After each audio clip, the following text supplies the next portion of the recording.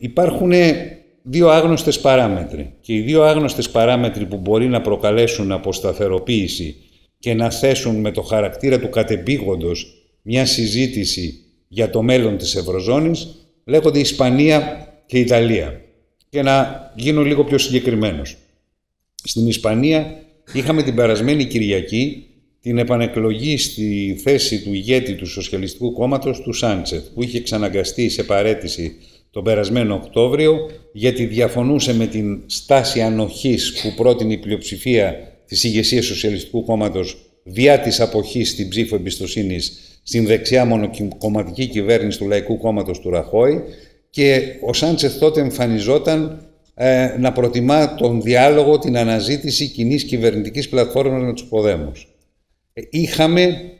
μια επανάληψη του φαινομένου που είδαμε στο Εργατικό Κόμμα της Βρετανίας με την επανεκλογή και την εκλογή του Κόρμπιν και στο Σοσιαλιστικό Κόμμα της Γαλλίας με την επικράτηση του ΑΜΟΝ ως υποψηφίου παρά τις προσπάθειες του πτέως Γάλλου Προέδρου Φρανσουά Ολάντ να επιβάλλει τον εκλεκτό του πρώην Πρωθυπουργό Μανουέλ Βάλς. Ε, αυτό δεν σημαίνει ότι η κυβέρνηση Ραχώη θα ανατραπεί αύριο το πρωί, αλλά προσθέτει την εξής άγνωστη παράμετρο. Εάν δεν, εάν δεν υπάρξει αποσταθεροποίηση το Σεπτέμβριο στη Μαδρίτη, με μονομερή ανακήρυξη ανεξαρτησίας της Καταλωνίας, τότε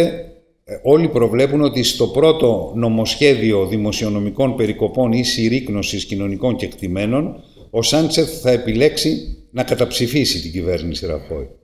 Και η εναλλακτική λύση της κυβέρνησης Ραχώη είναι, αν δεν θέλει να πάει σε πρόορες εκλογές, είναι η αναζήτηση εναλλακτικής πλειοψηφίας στη Βουλή. Αυτή η πλειοψηφία δυνητικά υπάρχει, είναι η Σιουταντάνος, το φιλελεύθερο κόμμα που εμφανίστηκε πριν από τις εκλογές του Δεκεμβρίου του 2015, είναι οι Βάσκοι Εθνικιστές και είναι μια ομάδα που προβλέπεται ότι θα αποσχιστεί από το Σοσιαλιστικό Κόμμα της Ισπανίας. Εάν αποσχιστεί μια ομάδα κάποιων δεκάδων βουλευτών για να στηρίξει την κυβέρνηση Ραχώη, τότε βρίσκονται υποδέμως χωρίς να γίνουν εκλογές να είναι το δεύτερο κόμμα στο Ισπανικό Κοινοβούλιο και να υποφελούνται από τη δυναμική της αξιωματικής αντιπολίτευσης. Ε, ανα πάσα στιγμή από τότε και μετά από αυτές τις εξελίξεις θα είναι πολύ πιθανή μια πρόορη προσφυγή στις κάλπες ή μια κυβερνητική κρίση στην Ισπανία. Το δεύτερο και το πιο σοβαρότερο ατύχημα εν αναμονή κατά τη γνώμη μου και σε όλες του τις διαστάσεις, δημοσιονομικό, χρηματοπιστωτικό, γιατί όλοι ξέρουμε σε τι κατάσταση βρίσκονται οι Ιταλικές τράπεζες, και πολιτικό, λέγεται Ιταλία. Στην Ιταλία η θητεία της Βουλής λήγει το Φεβρουάριο του 2018. Το ζητούμενο είναι αν θα προκύψουν συνθήκες που θα επιβάλλουν πρόορη προσφυγή στις κάλπες. Εκεί έχουμε την εξής εικόνα. Έχουμε το Δημοκρατικό Κόμμα του επανεκλεγέντος Ρένιτση και την κυβέρνηση του Τζεντιλόνι να είναι, να είναι η μόνη που δεν αμφισβητεί το σημερινό status quo συμμετοχής της Ιταλίας στην Ευρωζώνη. Όλα τα άλλα κόμματα ή πολιτικά μορφώματα, από το ετερόκλητο ε, λαϊκιστικό κίνημα διαμαρτυρίας των πέντε αστέρων του Μπέπε Γκρίγιου, τη Φόρτσα Ιτάλια του Μπερλουσκόνη, την ακροδεξιά ρατσιστική και ξενόφοβη λέγκα του Βορρά του Σαλβίνη, για να μην σας κουράσω με λεπτομέρειες, με τον ένα ή τον άλλο τρόπο προτείνουν ή παράλληλο νόμισμα ή επιστροφή στη λιρέτα και για να αποκτήσουμε μια αίσθηση του πόσο αυτές οι ιδέες κατακτούν οπαδούς στην Ιταλία μέρα με τη μέρα, υπολογίζεται ότι το 40% των μελών της Κονφιντούστρια, του αντίστοιχου ΣΕΒ της Ιταλίας, τάσεται υπέρ παράλληλου νομίσματος ή επιστροφής στο εθνικό νόμισμα.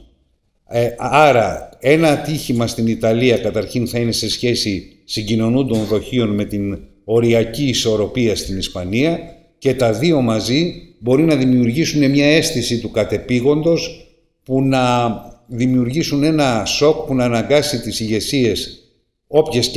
και αν είναι τότε της Γερμανίας να ανταποκριθεί στην πρόταση της Γαλλίας για μια συνολική ε, επαναεξέταση του μέλλοντος και της πλαισίωσης της ε, πολιτικής της Ευρωζώνης. Ε, το πρόβλημα δεν είναι αν ο Μακρόν θα επαναλάβει τα σφάλματα που έκαναν ο Σιράκ, ο Σαρκοζή και ο Ολάντ, που ήταν δηλαδή μέτρα και περικοπές που εξόργησαν τη γαλλική κοινωνία χωρίς να προκύπτει σε ευρωπαϊκό επίπεδο βήμα προόδου προς πολιτική ενοποίηση και πολιτική διαχείριση του κοινού νομίσματος. Ε, το πρόβλημα είναι ότι εάν δεν κινηθεί η Γαλλία με τη Γερμανία προς αυτή την κατεύθυνση, το ερώτημα που θα τίθεται είναι όχι αν θα επιβιώσει ή όχι η Ευρωζώνη, αλλά αν θα διαλυθεί συντεταγμένα ή ασύντακτα.